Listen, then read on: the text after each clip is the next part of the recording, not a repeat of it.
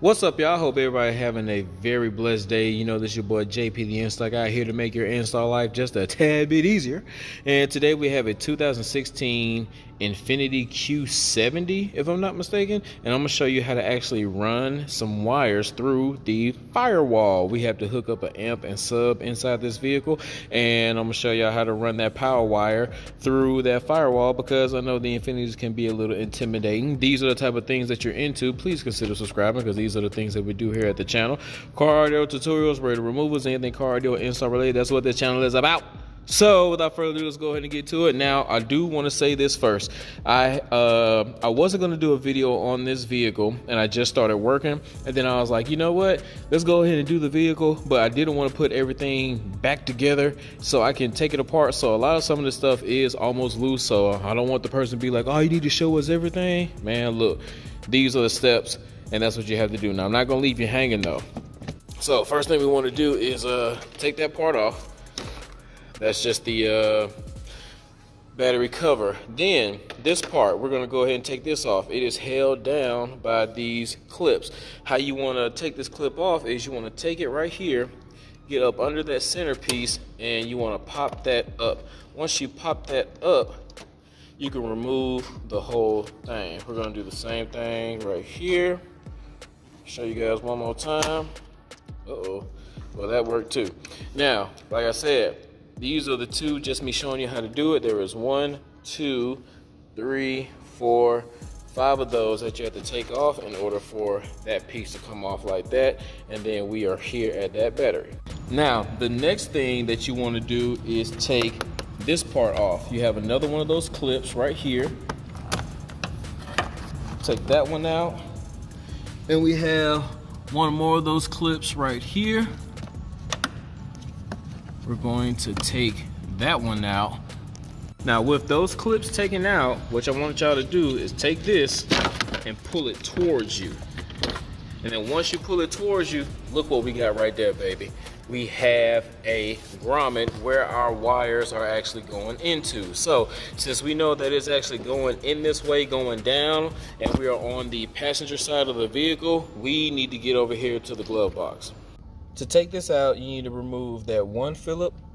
There's another Phillip right there, another Phillip right there, and another Phillip right there. Once you get those out, you have one more right, if I can get it, right down there, right here in this corner.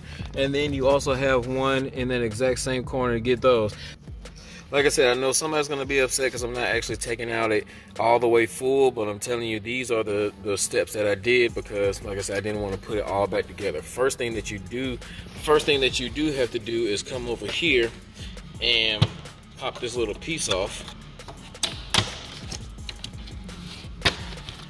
Take out. Now, one thing that I will say as far as taking the screw out right there on both of those sides is I use my right angle driver. This right here goes on the end of your drill and then it allows me to come down right here and drill stuff out at the angle because you won't be able to go straight on with this. So you guys might want to look into getting one of those tools. Let's take this one out. And when you take that out, when you get all those down, uh, everything else is held in with clips that go into here and one more right here. And as you can see right here, this is where our bundle of wires is coming out at. Now, if you see this, this is a pick tool that I have, and I just kind of poked a hole through uh, just to see uh, where it was gonna come out at. So let me go back to the engine so you can see where it's coming in at. All right, guys, so there is a small, there's a little hole, little circular thing right there. There's not actually a hole there. I just kind of put my pick tool and poked through to make sure that I wasn't gonna hit any type of wires of any sort. So uh, that's me just kind of sticking that down in that hole. And then what I probably wanna do is get my razor knife and I just want to kind of cut a little slit right at the top, right over that hole. I don't want to make it too, too big because we already have a hole and you don't know where the wires are right up under there.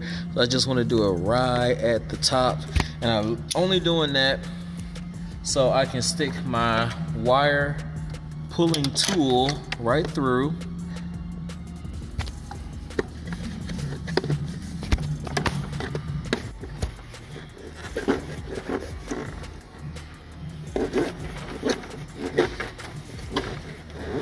see where it comes out on the other side, probably the same way. All right, so as you can see, our wire tool is coming right out of that grommet.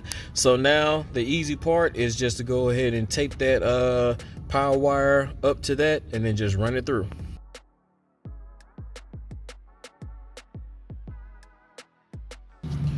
Now that we now that we have it taped up, let's go ahead and pull it through the inside.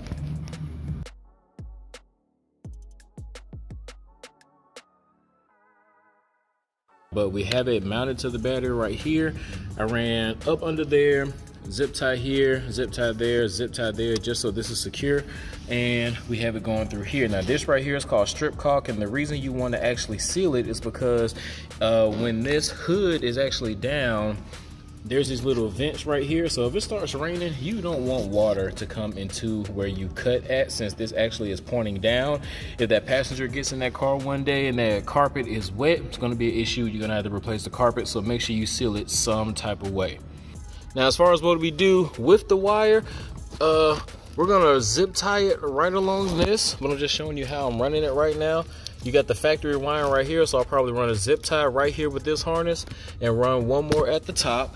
This little piece, well, this part, this running board part literally just pops up. It's only held in by clips. So I pop that part up. This actually pops out like that. So you can run it down, zip tie it like that. That clamps back. And then We're gonna run that bad boy right along the factory wiring through here. Now at this point, you can zip tie it along the factory wiring if you want to. And I probably will go back and do that if I have more time, but this way I know it's not gonna be pinched by anything. We're gonna go ahead and go to this rear panel. It should pop up just like that. Now you still have these little channels right here. So what you could do is take your wire pull tool, stick it all the way through to the other side, then pull your wire out. Or you can try to, when you get it to that point right up there, you can try tucking it up under this carpet all the way here and then running back through whichever way works for y'all. I'm actually going to use the tuck method for this video just to show you guys what to do. Now we can pull it right here And if you want, you can try to run it through this channel, but we are here at this point. What I like to do, if I am just gonna tuck it, I like to kind of pull it a little tight right here and I'll throw a zip tie down there to kind of help ensure that that thing doesn't drop. We'll run it up under that little situation right here. And then we'll pull the rest of our power wire up under there. Now, you may notice that I have the back seats out and I already have them out for a reason. I wanted to show you guys how or what tab you have to pull because you don't just need to lift up on the seat. Get your finger down here, pull that tab. If you don't pull this tab and you just try to lift up on the seat because you think that it's tight, you will end up breaking that and then your seat will never sit uh, kind of flush. So you want to pull that, then lift the seat up on both sides. That gets that out. Now, uh, show y'all a way to get it all the way to the back.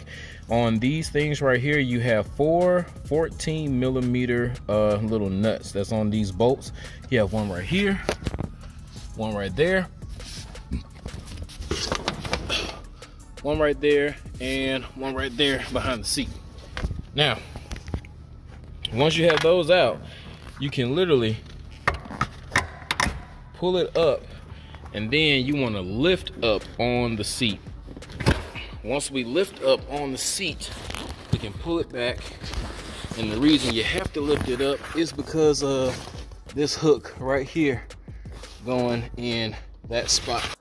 But if you look on this passenger side, you see this group of wires that's actually going through that hole right there. Uh, you can do one of two things. You could try to run it through there or somebody like me is just gonna drill a hole big enough for my power wire to go through because on the other side is literally nothing. And let me show you what I'm talking about. When you're in the trunk you're gonna have to drop this uh trunk lid down and you'll see a bunch of holes uh like that. There's some across the back like there as well. They take the exact same clips that we just got done taking out earlier. So like I said, you pop that middle piece up and then pull it down.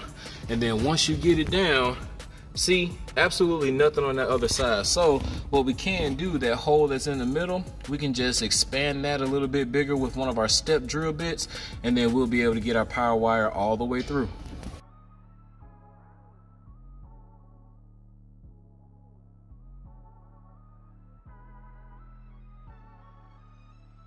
And there you have it, guys. We have our power wire from the front all the way to the back.